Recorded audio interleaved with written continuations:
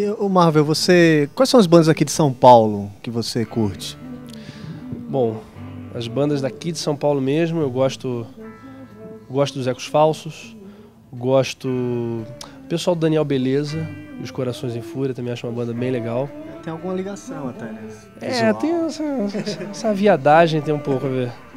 Mas eu tenho mais cabelo.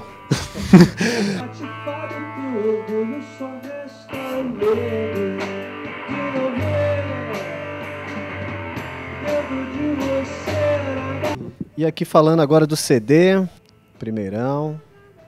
Como é que rolou o processo de produção do CD? Bom, esse processo já tinha começado com o Glamurama. Eh, Nesse CD a gente tem quatro músicas daquela época. Depois a gente continuou a fazer um, um- fazer o trabalho de composição e tal.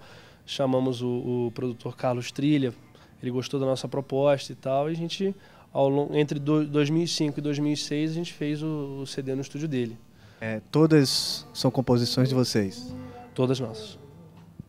E como é que tá ah, o processo de dis- distribuição do CD? Colocaram na internet também? É, a gente. O CD cair na internet hoje em dia é inevitável. Ele cai. A gente colocou algumas músicas no, no, no MySpace e tal. É, é, muito, é muito bom para nós, né? Porque artista que não toca na rádio, não toca na, não toca em nenhum grande veículo de massa, tem que, tem que cair dentro da internet mesmo. E agora, no, no, no próximo mês, a gente deve estar lançando. A gente vai lançar o nosso clipe que foi filmado pela produtora Sete Seco. E mais uma, mais uma carta na nossa manga. Beleza, galera. Eu queria agradecer aqui a presença do Cabaré. E esse foi mais um FENAC Show Livre apresenta. Até a próxima.